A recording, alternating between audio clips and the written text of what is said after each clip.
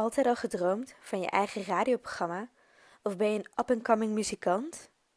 Is je grootste wens dat mensen wereldwijd genieten van jouw creaties?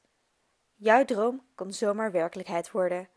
Want net zoals bij bloggen kan iedereen nu radio-dj of presentator zijn. Begin je eigen podcast. Maar wat is een podcast?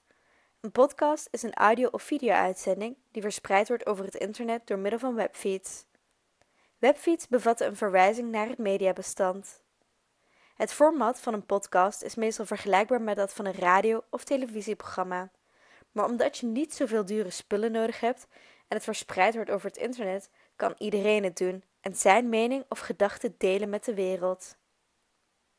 In de begindagen van internetradio in 1993 lanceerde Carl Malamud het praatprogramma Internet Talk Radio in de Verenigde Staten, dat, zoals de naam wellicht al verklapt, het eerste computergedreven radiopraatprogramma was. Hier interviewde Malamud elke week een andere computerexpert. Deze uitzendingen konden computergebruikers vervolgens downloaden. Met de groei en downloaden werd er meer en meer gebruik gemaakt van het toen geheten audiobloggen. De term podcasten dook voor het eerst op in 2004, toen journalist Ben Hammersley de nieuwe uitzendtechniek beschreef door de woorden iPod en broadcasting te combineren.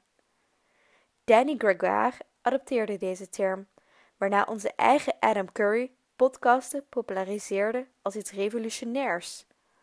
In 2005 bereikten podcasts gemaakt door hobbyisten een hoogtepunt. De opkomende concurrentie van de professionele radiomakers, met de publieke omroep voorop, marginaliseert het aantal actieve hobbyisten. En hoewel podcasten zich in Nederland snel ontwikkelden, is, is het vooralsnog nog niet zo populair geworden als in Amerika. Door zijn laagdrempeligheid kan je over elk onderwerp wel een podcast vinden. Er zijn podcasts over algemene onderwerpen, zoals computers en populaire cultuur, maar ook niche-podcasts over bijvoorbeeld wijn, specifieke rockmuziek of over de media.